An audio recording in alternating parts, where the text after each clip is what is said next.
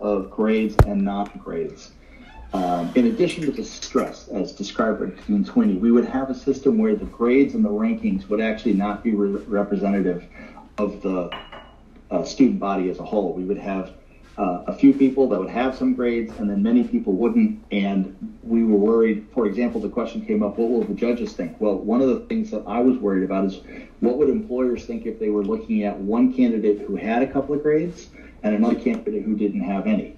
And uh, we're, we're all human. We all draw conclusions based on uh, choices that are made, and we felt like um, students would head into exams stressed about that possibility and then have to make choices between taking care of their family and themselves and studying for exams in a way that would be uh, uh, bad for them under the circumstances. So that was another thing that I was particularly worried about in making the choice. And I think it's fairer to the group if we just have it all pass fail for the entire semester, and that's what it is.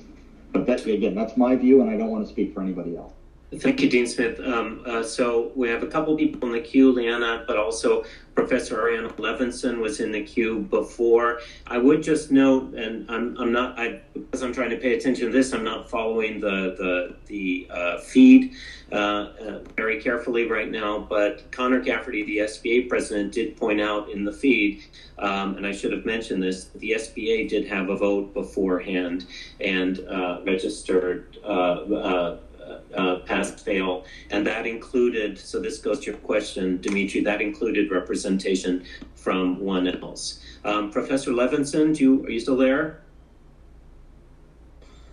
Yes, I'm here. I just wanted to um, tell Dimitri that, as the dean said, um, this is a group of people, a relatively small group of people trying to make up their individual minds and cast a vote with as much input as they can have from um, Connor and other students who have reached out to them. So we genuinely tried to do it was best. And one thing that um, that made me decide that the pass fail option was best for our students is that students that need recommendations and know their professors, um, you know, Dimitri, I'm always happy to give you a recommendation and I think that students who need those for clerkships and such um, also will have professors who are willing to do that. So, so to echo um, what what uh, what the other deans have said, Dean Sweeney and Dean Smith and Dean Colin, um, I felt we really needed to protect everyone especially those who we don't know what can happen. I might lose my father tomorrow, and then how fair is my grading going to be of you if it's not pass fail? And um, I just wanted to share that I really thought our administration did a fantastic um, job, and that I'm happy to talk with you, Dimitri, um, anytime about it. Thank you very much. Um, Leanna, you've had your hand up for a while. Please go ahead. Hello, can you hear me? Yes. Perfect. Okay. And, the, and Leanna, let me just say after, just so people know that I'm paying attention, after you, DJ Chris has, I don't know if DJ is a man or woman, but has his or her hand up. Uh, Leanna, go ahead.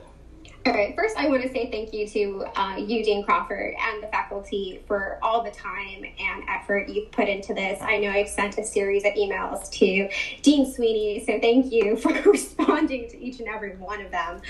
Um, so, something. Um, that I'm a little concerned about. And I, first of all, I'm here as a representative of PALS, but my question is completely from myself, and I will speak, be speaking for myself at this time. So um, I know the faculty had to make a decision on which, basically, had to choose who would advantage from this. So my question is regarding students who possibly needed the grades this semester because of their GPA students who are one on academic probation, students who needed a higher GPA due to how competitive some of these job um, applications are. Now, will they have the opportunity to make this up in the summer, or will the summer courses also be considered pass fail? Um, so, Leanna, first on the academic probation, last week the faculty also voted to extend academic probation for a semester, um, meaning through the fall semester, not the summer semester. So, um, so that addresses that question, I believe. Um, as for um, the question of being competitive, again, I think I would just repeat a part of what I said before, which is that uh, those students are going to be like most law students nationally, and employers are going to know this as much as the students will. Um, I liked the, uh, and I noted that uh, we have to on Tuesday address the question of assessment and reporting that Elizabeth Clements and Katie Davidson raised. So, and that goes to your question as well. So we'll try and figure out something that will uh, protect students, but also, once again, you know, think of what Professor Levinson just said, which is that you know, it helps if you know a faculty member. We're a small faculty. You can go to people, you can ask them for uh, recommendations, and they can speak to this. I, I also might add, I'm teaching a small uh, class right now, and I said to my students in class this week, I said, you know, this, uh, even though we're all now pass fail, it, my paper, students writing, a, my course students are writing a paper. I said, even though this is pass fail, this really ups the ante for you to, if you don't get sick, you know, provided you're still okay or don't have other distractions, that you do what you can to do really well because then you'll be able to get a good letter from me when we're past all of this. And so we, we are thinking about these things, but as I said, Leanna, we will uh, next week uh, uh, try and come up with more specifics on this. Does that answer your questions? It does. And I actually have a follow up question, if that's okay, before okay. you move on. Um, and maybe Connor can help answer this question. Um, I don't know if SBA has ever had a representative from PALS be present at a meeting before or if they've been welcome to attend meetings. I know that they have a diversity chair, and I'm curious if that's something that SBA would consider in the future. Um, unfortunately, I, it's almost time for me to hand over the organization um, for the upcoming semester, but I definitely would like to see a PALS representative like able to attend meetings so they can give an unbiased opinion as a representative and basically speak for the organization as a whole and not just be there as a member speaking for themselves. And for those of you who don't know, uh, PALS is the parent law student organization, still law students who are parents. Connor Cafferty, are you there? Do you want to address that for the SBA? Um, could you just repeat the question? I was following, so, yeah. but I just want to make sure I'm addressing the question. So, so Leanna is, is the president of PALS, Parents Who Are Law Students, and she said, has the SBA ever considered having a formal PALS representative on the SBA, not just coming in their individual capacity, but representing parents? I'm not sure if the SBA has ever considered that. Uh, I can only speak to my time on SBA, which is the last two years, and I can say that's not been a point of discussion that I've seen. Uh, it was my first year of law school that a group of students uh, petitioned SBA to add the diversity chair, which is a, the most recently added position on the Student Bar Association.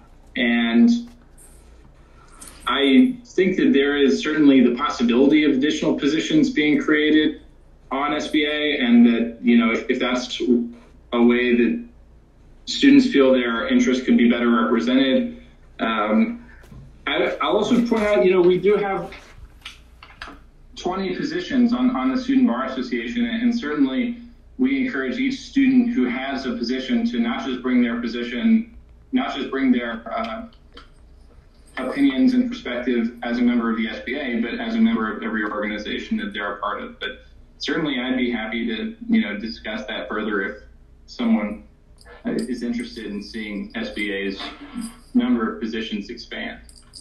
So, Leanna, maybe you can take that up independently with Connor and the SBA. Is that okay? Yes, that is. Thank you. Okay. Um, next, I have two remaining questions I've received, but DJ Chris has had a hand up for a long time. Please go ahead, DJ.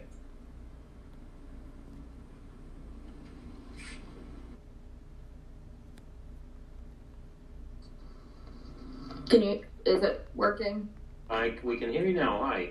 Okay. Um, I just wanted to kind of um, say thank you also for kind of going to this past fail um, at the 1L, I was like, okay, well, you know, there's the rest of law school to kind of figure it out and, you know, I'll do what I have to do.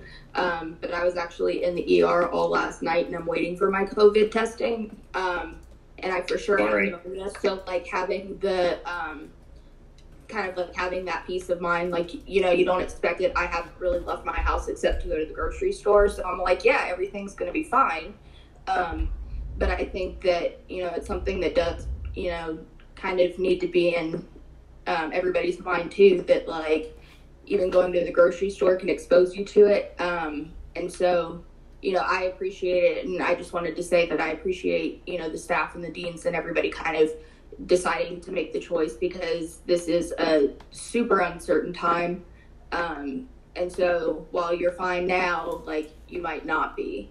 Um, and so I appreciate it. Uh, like I wasn't in that uh, position where I was like, okay, well, you know, I didn't think I would be in this position, but here we are. So I just wanted to say thank you to everybody that you know helped. Uh, thank you, DJ, and I, you know, we're thinking the thinking the best of you for getting these results, and please keep the, you know, any anyone on the faculty or staff you feel comfortable with informed about your health. Okay.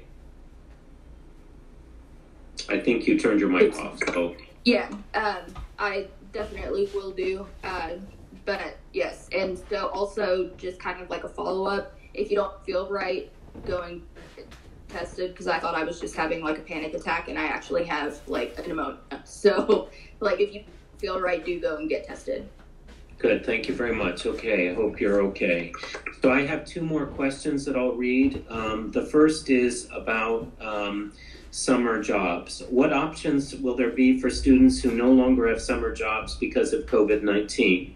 Specifically, how will OPD provide assistance and mentorship to students who, one, are on academic probation for another semester or must retain the same GPA from the previous semester, and two, have limited access to work opportunities due to social distancing requirements that will likely lead into the summer? So, um, at the um, end of last week, Thursday or Friday, I don't remember, but I um, called Dean Hayjack and we had a long conversation about what this would mean for the job market. Uh, the good news is she's an experienced professional doing this for nearly 20 years. And so, although obviously she's not dealt with this kind of a crisis, no one has, um, she's dealt with a couple of recessions. And so she knows what to anticipate, what to look for, what to, what to do. And so she and I have been in constant contact about uh, what this means. Um, and so for students on academic probation, you know, you just need to be in touch with OPD, with your faculty members, um, uh, and with others. Uh, we're putting out, we had a meeting with our Law Alumni Council. You know, days are kind of blending in together for me here, but I think it was sometime last week. Uh, we had a meeting with the Law Alumni Council and stressed the need for them to get out the word for jobs, and I think everybody's still in a mode on the employer side of trying to figure out what they're going to do. So we're thinking about this, is what I want you to hear right now. We don't have a concrete plan of action with all of these particular things ironed out yet, uh, but we are uh, working on it. Uh, one thing anticipating because I know some people have already lost their jobs. They've been in touch with me and with Dean Sweeney um, for the summer. One thing we are trying to do is put together a robust uh, schedule of classes taught by our faculty uh, over the summer. Um, the, the university has said that all summer classes will be online. Um, so, uh, Professor Arnold, who's the Associate Dean for Curriculum and Scheduling, he and I have been working to try and put together a robust package of summer courses. Um, the good news here is, if any of you have taken summer courses before, I don't want to get too far into the financial weeds here, but the university in the past uh, charged uh, uh, our students $1,100 per credit, which is not very economical. It's not equivalent to what you pay per credit on a 15 uh, uh, credit semester, which is what $11,000 for um, uh, in state students represents. For this summer, the per credit cost is going to be $723 um, uh, uh, a credit hour, which is slightly less than what you pay in a 15 credit payment. Um, so it will be more affordable. And my hope is that we can get together enough courses at that rate and, and at that rate that s- students who want to can take up to 11 courses and then at least when they're not employed make progress to degree. And so uh, that's one thing uh, we're hoping to do. Uh, so, um, you know, just keep on the lookout for that. I hope we'll have that all put together by next week, but it's a work in progress. Um, is uh, I see we have a question from Michaela Fields, but before I, uh, well, maybe Michaela wants to, to come in on this point. Michaela, go ahead. Um, I don't really have a question. I just wanted to state um, I am a peer advisor for OPD. And so, if anyone is having any issues or are is scared or want to speak or anything like that, you you can feel free to email me, and I'll get back to you. And then, as well as students who are afraid about their GPA and job placement, I can also be a kind of a testimony and try to give you guys ideas to help with that coming in the next semester. So I just wanted to say that I'm here if you guys need me. Um, that's my job essentially. I know I can't really do much as a student, but I can be a listening ear and I can try to help you guys get through this um, weird situation. Great. Thanks, Michaela. Thank you very much. Um, anyone else on that point on summer, on job placement? I should add, um, I also last weekend I called Professor Santry, who uh, is, of course, the director of our domestic violence clinic and does the mediation clinic. We talked about options that will be offered this summer. So, students who want to work in the clinic can apply to do that. Um, in addition, um, we're working with Professor Jordan, who um, oversees the live client experiential courses, to figure out which ones of those can um, continue to happen over the summer experiential requirements uh, on a distance basis. So we're working on that as well. And again, I hope that this will, will have some clarity for students on the week. Um, uh, Michaela, have I answered your question? Or thank you very much for your offer, by the way, but I, I don't think there's any question there. Correct, Michaela? Yes, sir. Thank you. Okay. Uh, Elizabeth Clements, you have your hand up.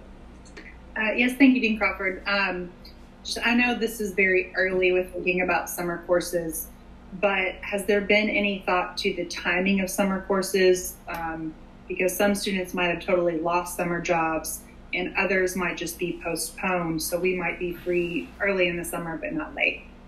Um, yeah, well, the, the schedule is going to be what it um, was before. Um, let me tell you right now. Just give me a second here. Uh, so, uh, in other words, the, the university is not um, changing its uh, schedule. There are two sessions. Um,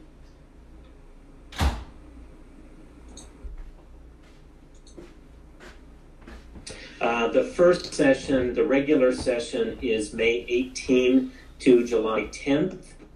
Um, and the second short session, it, which can only have two credit courses, is July 13th to August 11th. And so, what we're trying to do is to get courses, as I say, either get um, uh, uh, bar tested or required courses to the extent we can find faculty to do that, or to get perspectives or writing requirement courses so students can get those out of the way uh, if they want to. Uh, but those sessions, again, those dates are set by the university, and there's been no discussion in any of these meetings I've been on about changing uh, those dates. Does that answer your question? Um, yes, it does. If those are the set dates, um, I just thought there would be an opportunity for um, earlier classes like the domestic violence course, but that was a one week accelerated or two week accelerated course. So I guess that was a different situation. But she's she's still. I, I don't know the dates that she's doing that. I know she's doing the course. Do you, anyone else? It's it's the last two weeks of May. Okay, well then it'll stay where it is. I think. Yeah. Um, so, and I hope we have some information on this um, soon. Um, Dimitri Johnson Cantu, you had your hand up. Yes, Dean, I did have a question, but I, I think y'all kind of got to, to it and towards it, so thank you.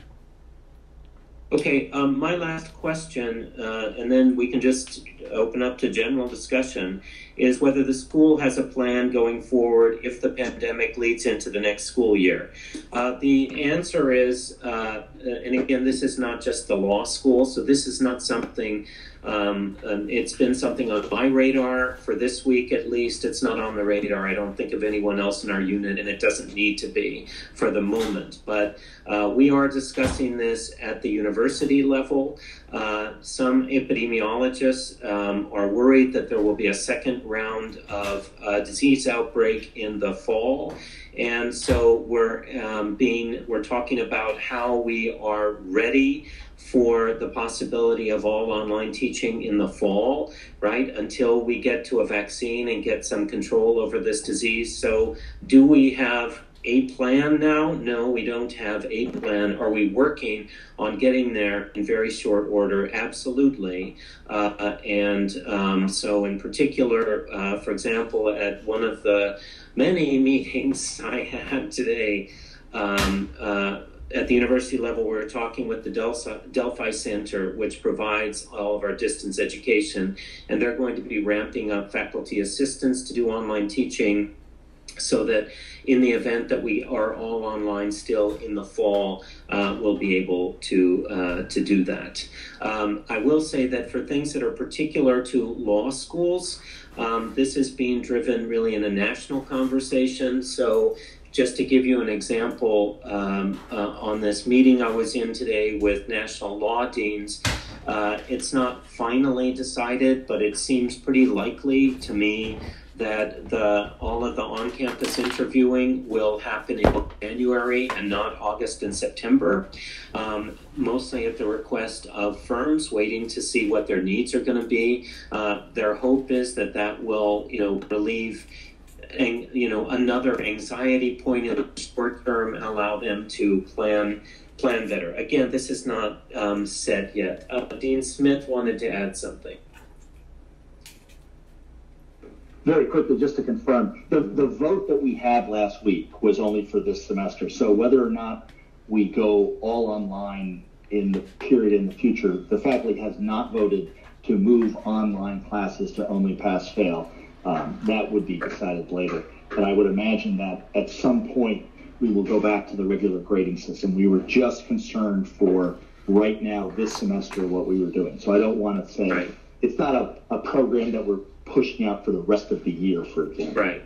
Well, that's a that's a very good point. Thanks. And I mean, if I and again, I'm speaking for myself. I'm not speaking for the faculty. The faculty needs to decide grading policy. It's their decision, not mine. But I would be surprised, for example, if for the summer uh, people would vote for summer courses uh, to be pass fail because we now, you know, we've had this. We've all had this trial by fire, whether teaching or learning online, where you hadn't anticipated that, and um, so we will have some familiarity with the technology as the university is ramping up its um, uh, provision of resources for faculty to be able to teach online, and so people should be more comfortable with it. So, again, although it's a faculty vote, not Colin Crawford's vote, I would be surprised if that was not the case. But we'll see. We never know. One thing I do want to mention um, is. Uh, that um, we have a small, we always have a small budget item for student emergencies. They tend to be health related, not exclusively, but they can be other things as well uh, where people are short on resources. Um, uh, faculty, uh, some faculty and staff have been generously contributing to that fund over the past uh, week. We also were informed today that every law school is going to get $25,000 from the AccessLex uh, entity, the one that uh, former Dean DeSanza went to work for, and for student emergencies. Uh, I uh, formed a, a three person committee today on which I'm on. Uh, Dean Sweeney and uh, Dean Hajak, and we're coming up with some instructions on how people apply. In addition, if you have financial or other immediate necessities, um, then um, you should first go and apply. There's a student fund available through the university you can apply to. And finally, I should say that um, Dean Becker doesn't know this yet because we were not able to connect yet today, and he's now out taking his daily jog. Uh, but um, I'm going to ask him to prepare uh, um, a web page uh, for the law school uh, web page that uh, provides resources, including information about our fund. Um, let's see. Okay, so that's what I got. I've covered all of the questions uh, that I've had. Um, anyone want to raise their hand and just anything that's going on in their head? Any concern? Uh, Kelly, how are you? How are the kids? Hey, they're okay. Um, so I just wanted to say, as far as a general comment, I really appreciate what the faculty and the deans are doing for the students right now. And I really appreciate the understanding of the students that might not be in the same situation as everyone. Canceling schools for parents um, is just, it just destroys our ability to. You can probably hear my kids in the background now without childcare, we can't, I can't even read without someone asking me for snacks constantly. So it's just like I never have time. And that scared me so much. And I appreciate what everyone did uh, Dean Sweeney, Dean Crawford, Dean Smith, everyone responded to my concerns and took those concerns into consideration. And I really appreciate that. And uh, I feel like I won't have to drop out because of that decision. So I think a lot of folks are upset because it does affect them, but also employers and judges are going through this too.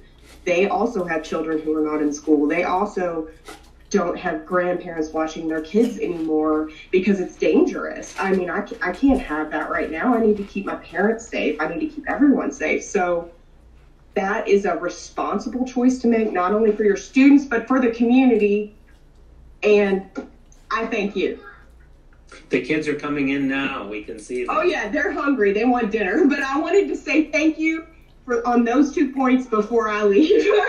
well, Kelly, I mean, I think thank you so much for that comment. I think this really illustrates that how we are all in this together, even though we have different experiences. It is just also new. I had today one of the, the people who directly reports to me on the staff. We had our weekly meeting, and uh, she has kids, and she very sheepishly said to me, You know, I have to be honest, I'm not as productive as usual. And I said, Of course, you're not as productive as usual. Your whole family rhythm has been disrupted. You have a five year old in, you know, coming in and out uh, every 10 minutes. So I think, you know, uh, it's, it's useful for us, uh, to, for all of us to hear this. So thank you very much, and I hope you and the kids stay safe.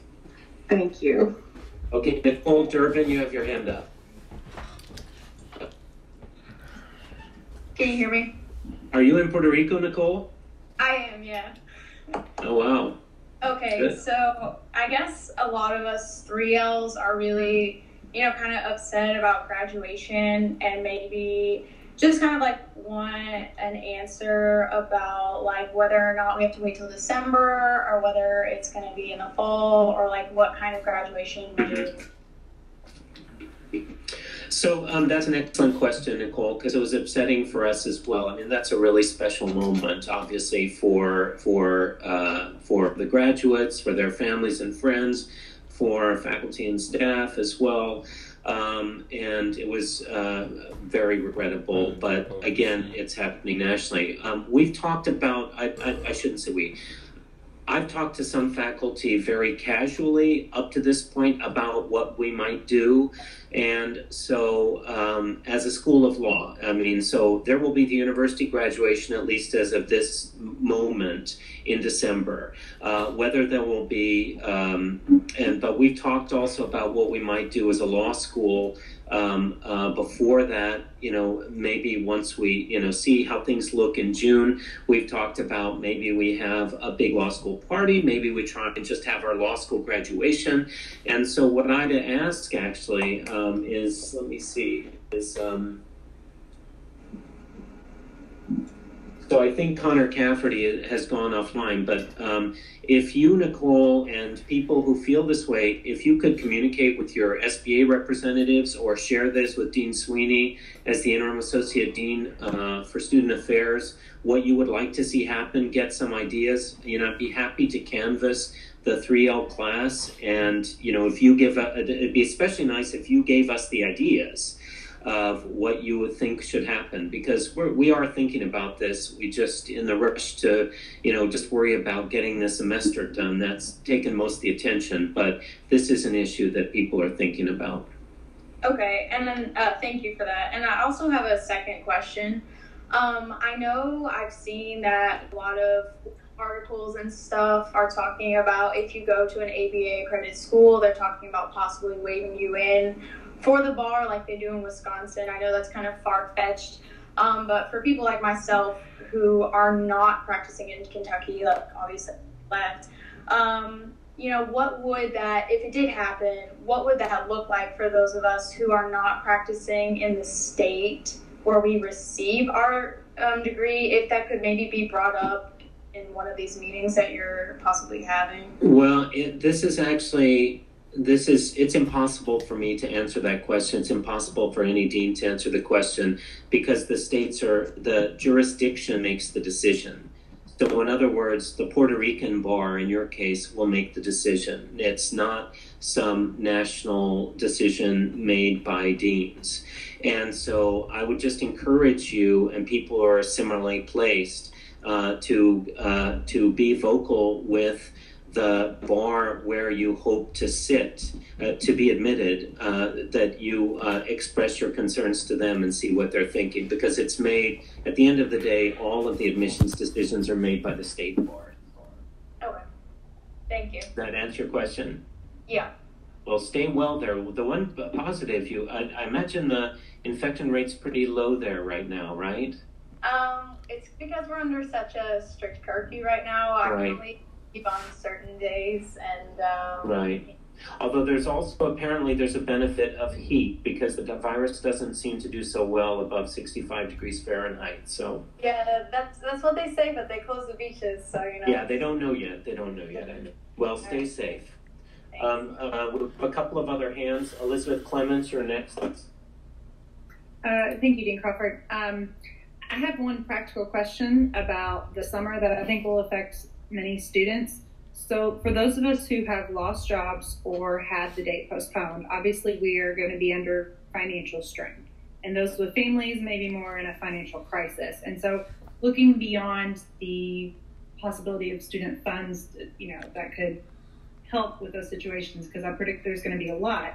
Um, for students who take summer courses, and I don't know because I haven't taken law school courses over the summer, and I'm guessing most people haven't. Do you know if um, we were able to take out student loans to cover the cost of that tuition and the books required for the courses? Um, and do you know if, similar to the semester, if we can take loans for basic living expenses? Um, because I think most people aren't going to be able to take any other kind of job since businesses are closed and things like that. Right. Yeah, that's an excellent question. So, um, my understanding is as follows, although there's a caveat. I say my understanding because actually one of the things I noted to myself earlier for this university discussion is on Monday, uh, is, is uh, wrapped in here. My understanding is yes, um, that um, the summer semester is just like any other semester. Again, my hope is that we get enough courses that people can make some, you know, robust progress to a degree if they want to take that option, but that you can borrow. Um, the question there's uh, uh, that is, and it's a national question. I've talked to people all across the country about this. Is um, that typically people get that um, cost of assistance ranking from your financial aid, and that may have to be adjusted uh, within the relevant period. So that's the thing I'm going to clarify in my uh, university meeting uh, Monday. And um, I hope I remember to get back to you, Elizabeth, or others who have this concern, but certainly come back to me next week if you're inclined at this time when I'm, I'm planning for the foreseeable future to do this uh, on Fridays and um, the uh, see if in fact the financial aid cap uh, can be changed if need be. I mean that may not affect you, but I just I want to clarify those details, and I don't know that. But yes, you can borrow for the summer. Does that answer your question, at least to the best of my ability right now? Yes, it is. Thank you. Great. Um, do we have any other hands? Okay, um, any other questions? Anybody else? Somebody tell me something nice that's happened to you this week. Anybody? The weather's nice. I made them. Go ahead. The weather's nice.